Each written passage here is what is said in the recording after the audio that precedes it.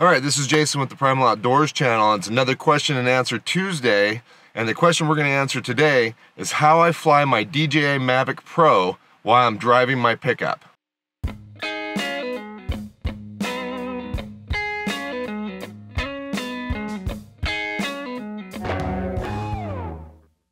All right, so this is a question I get asked just about every time I have some sort of drone footage of me driving my pickup.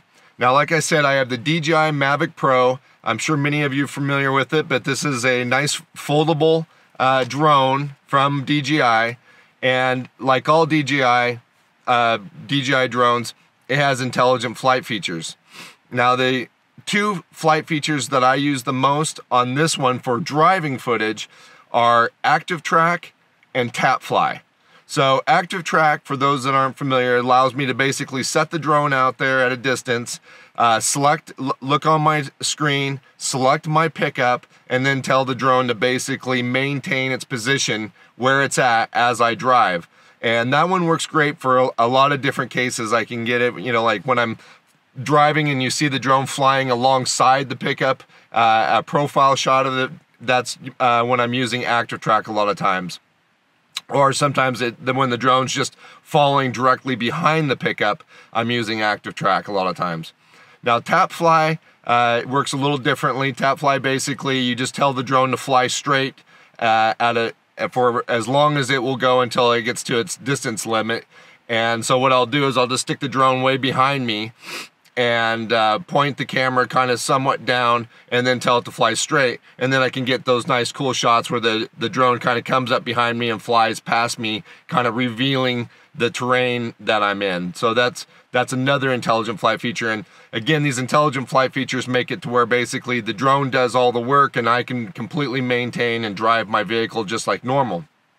But there are times when I want certain shots, like the shots where the drone's out in front of the pickup, uh, and looking back at it. Now I can use ActiveTrack for that, but I've had some struggles using ActiveTrack in that situation, so I prefer to actually manually fly the drone in that situation.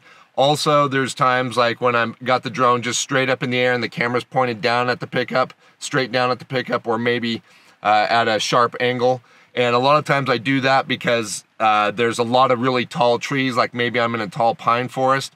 So I want the drone up in the air. Or like I said, if the drone's out in front of me and I'm flying it, uh, there could be branches or things that I really want to be able to kind of control the drone and really pay attention to what the drone's doing. So I fly the drone during those. And what I do to do that is one is make sure you're somewhere where uh, you're not there's no traffic around. Like I'll do this on a dirt road where there's nobody around. But I put my truck into four wheel low so that that way I can put the because I have a manual. So and then I'll use either second or third gear and basically in four wheel low my truck will just kind of crawl along and I don't have to give it any gas or worry about uh, controlling the speed of the truck. The truck will just crawl down the road. Now I have to use the remote control, which, you know, obviously you have your, your joysticks here. So what I do is I use my knee and I steer the truck with my knee. I don't have to use the uh, gas pedal or anything. So this way allows me to basically crawl down the road maintain uh, maintain myself on the road with my knee by uh, controlling the truck. So don't it, this doesn't work real well if the road's got a lot of curves. So I usually try to find a spot where the road's pretty straight. But this kind of allows me to keep the straight truck straight down the road, and then I can keep my eyes on the drone or on the screen. Because like I said, my if you're not familiar, my my phone goes here, fits in these arms, and my phone goes like just like this, and the controller.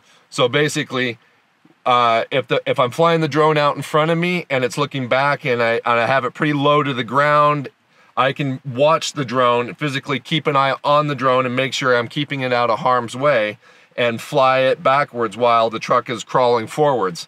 If I've got the drone way up in the air and it's looking straight down, I can look on the just kind of keep you know, kind of keep glancing up, making sure I'm still going straight because I'm not going very fast because I'm in four low. So I'm basically only, we're talking about speeds about 15 miles an hour. So I'm going down the road. I can kind of keep looking up, making sure this truck's going straight. But then I can also keep an eye down here on my screen and make sure that I'm got my my composition right uh, with the drone and the truck and the road. So and then I can fly and also make sure that I'm maintaining the correct speed with the drone to keep the truck in the, you know, obviously keep the truck in the composition. So those are my tricks for getting a lot of my uh, different drone shots when I'm driving. Uh, I hope for you guys, I realize that this is probably only going to be interesting to you guys that are creating YouTube videos or thinking about getting a drone for your YouTube videos. Um, but we'll start doing some question and answer ones on some camping related items as well. But I, the question and answer will kind of revolve around camera gear and camping since I, I do both. But anyhow, like I said, I hope that uh, for those that are interested, you did find that uh, somewhat helpful or interesting to learn about. Uh, if you did, please give the video a like. Uh, any, if you have any questions or comments, uh, please leave those down below, and I'll see you guys again outside.